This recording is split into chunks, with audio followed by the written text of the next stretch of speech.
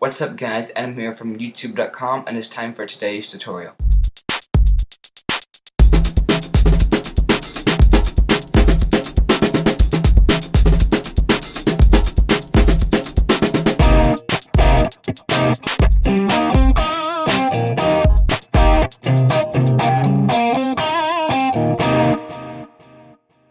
In today's tutorial, I'm going to show you how to make a file always open to a certain application.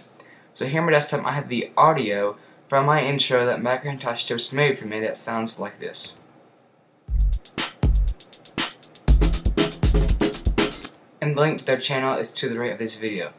And if I double click on this audio file, then it will open up in iTunes. But if I right click on it and, it, and you can see that it says open with, and if I choose the application that I want it to open with, then it will only open in that, that application once. So I want to push the Alt Option key on the keyboard, and it says always open with. So let's say I want to open up with QuickTime Player. Select QuickTime Player. And now, as you can tell, it changes the icon, and if I double click on it, it will open up in QuickTime, and I can still play the audio file.